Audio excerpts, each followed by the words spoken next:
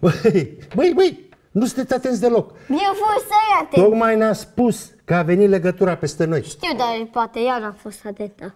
Să fii mai atentă. Tu dai vina pe ea? Hai, uite cum face. Băi, să fii mai atent data viitoare. Tu spune ei. Băi, se... Să fii mai atent data viitoare. Și Ai tu înțeles? spune-i cameramanului. Să fii mai atent data viitoare. Nu vrei. Bun, dragii mei prieteni, vom face niște experimente simple. Vom folosi două reviste, Știință și Tehnică. O să le tăiem. Eu scriu aici în revista asta niște povești, să le citești. Wow. Bun, vom folosi aceste două reviste pentru a face un experiment oarecum, oarecum surprinzător. Uh, Luați legătura înapoi pentru că trebuie să discut ceva cu prietenii mei. Gata. Am înțeles. Ai deci auzit? acum da. Ai Merge. auzit? Tu ai auzit? Da. Avem legătură aici. Uite Să ce ne vom atenți. face. Vom băga o revistă una între alta Da. și să vedem dacă voi puteți să le trageți. Crezi că poți? Normal. Tu poți? Da. Bun. Uite cum facem. Luăm revista, o pagină dintr-una, o pagină dintr-alta, o pagină dintr-una, o pagină dintr-alta, ușor așa, fără grabă. Să vedem cât de puternici sunteți. Hai mă. Cine nu poate să facă asta? Măi, unii pot, alții nu poate. Uite, tocmai un articol cu Gagarin. Tu știi cine a fost Gagarin? Nu. Primul om care a zburat în spațiul cosmic. Pe 12 aprilie 1961 Sau 62. sau 61. Nu mă contrazice.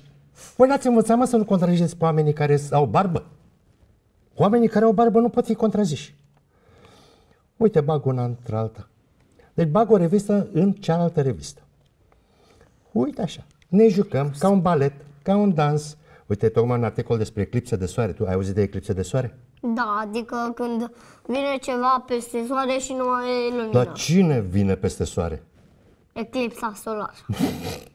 Păi eclipsa solară e pentru că vine ceva peste soare. Ce vine peste soare? Uh, Cred că vine Ce ar putea să vină? Hai să ne gândim. luna. Exact. Ah, Când se așează luna în fața soarelui, e, acum tu apucă de un parte, tu apucă de partea altă și desfăceți revistele. Mai încercați odată. Hai!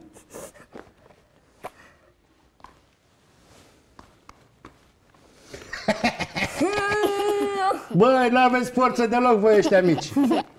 Asta e cu tineretul din zilele noastre. Nu poți. Ia eu spulai! și tu mai... Hai, mai încercați.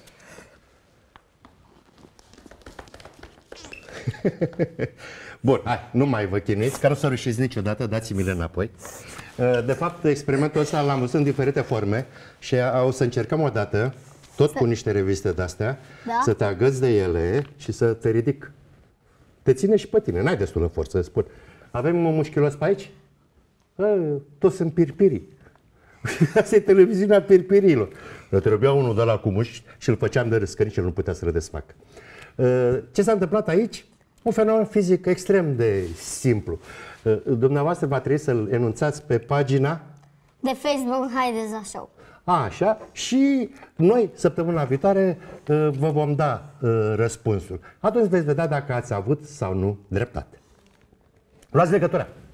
Repede!